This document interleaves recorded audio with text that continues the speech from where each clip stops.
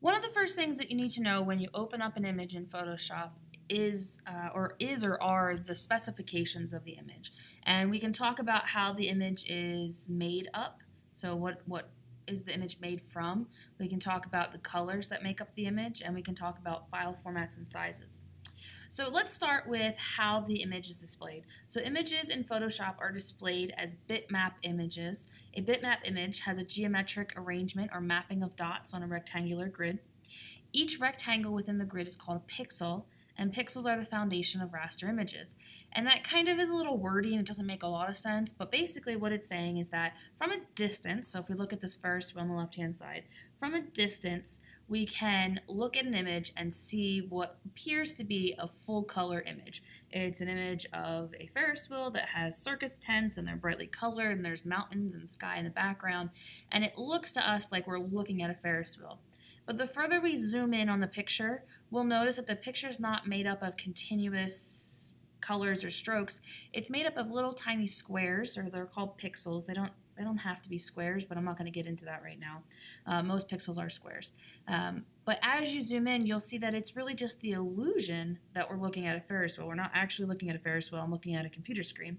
And the further we zoom in on the picture, we'll see that the image is made up of little tiny squares that create that illusion. And the more squares we have, we consider that a higher resolution or higher quality image. And the lower the number of pixels in the image, we'd say that that was a lower quality image. Um, because Photoshop is a bitmap program, it is best suited for editing photographic or painterly images that contain subtle gradations of continuous tone color. So there, there's, there's a term called continuous tone color that you need to be aware of. So images with a virtually unlimited color gamut are considered to be continuous tone. True continuous tone images are creating traditional black and white or color photography with film. And you can't get actual continuous tone images if you're creating the illusion of a picture. If I'm outside and I'm looking at that Ferris wheel, it is a continuous tone image. I see all the colors that I'm supposed to see. I have 50,000 shades of green, and they just flow seamlessly into one another. Um, the only way you can actually get that continuous tone image is to use film-based photography. And so what we're going to say is that images in Photoshop are going to be full color images. They're colors, they're images that represent the colors in the real world, but they're not actually um, continuous tone because we can't zoom in on it and see the actual um, piece of metal that creates the Ferris wheel. We see little squares that make the, the illusion that we're seeing the metal on the Ferris wheel.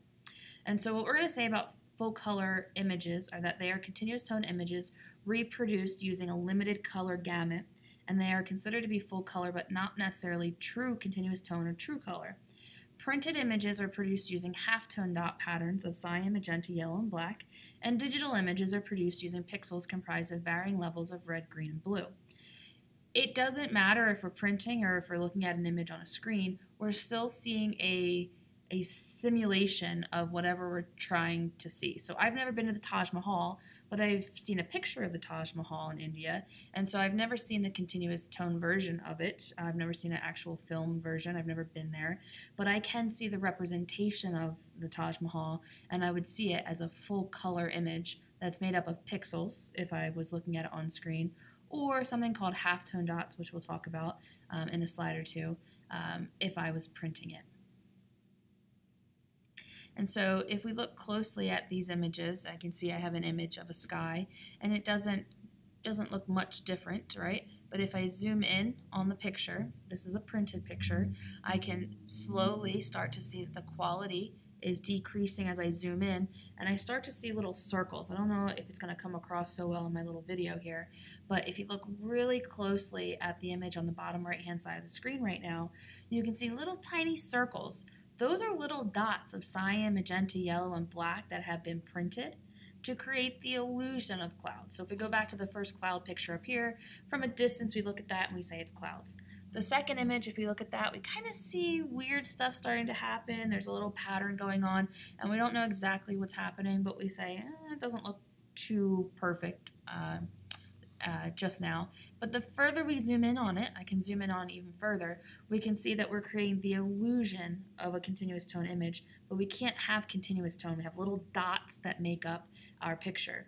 And so if we're talking about printing, they're dots, right? They're DPI, dots per inch, and they're little circles. I'm going to go back for a second.